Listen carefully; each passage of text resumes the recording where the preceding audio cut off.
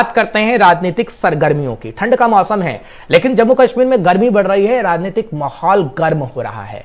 किस लिए? क्योंकि राजनीतिक पार्टियाँ के नेता निकल रहे हैं जम्मू कश्मीर में और बयानबाजी कर रहे हैं। बयानबाजी का दौर जारी है। आपको जानकारी दे देते हैं, क्योंकि फारूक अब्दुल्ला ने आज प्रधानमंत्री नरेंद्र मोदी केंद्र सरकार पर जमकर वार किया है।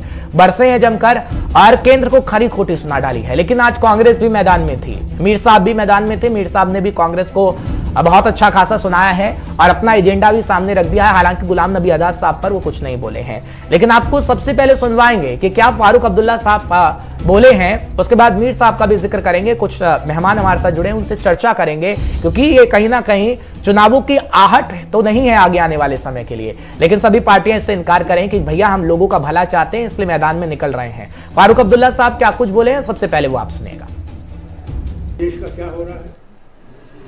किस तरफ़ देश जा रहा है? इलेक्शन जीतने के लिए लानत है ऐसे इलेक्शन जीतने के लिए जहाँ आप इंसान को इंसान से लड़ाएँगे ऐसा इलेक्शन होना नहीं चाहिए। इलेक्शन लड़ना है तो अपने कामों पर लड़िए अपने किया क्या? राम को लड़े हमने राम जी का मंदिर बना लिया मैं कल मस्जिद बनाऊँगा, मैं कहूँगा, मैं मस्जिद बनाई है, मुझे वोट दो। नहीं! वोट चाहिए तो अपने काम पे वोट लीजिए। जो अपने काम किया लोगों को उनकी भलाई की है, उनकी गरीबी दूर की है, उनकी बीमारी दूर की है। क्या गंगा में लाशें बह नहीं रही थी? क्योंकि उनके पास वो साधन नहीं थे। क्या जम्मूवासी भूल गए? यहाँ गैस नहीं थी। ऑक्सीजन से कहते हैं।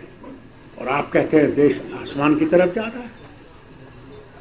हम वैक्सीन दूसरे मुल्कों में बेच रहे हैं, खुद अपने लोगों को मरवा रहे हैं। हमने करना है। हमने उठना है। हमने वो रास्ता इस्तेमाल करना है जिससे हमारा हक वापस आए। हम इनसे और नहीं मांगते। हम इनसे महल नहीं मांगते।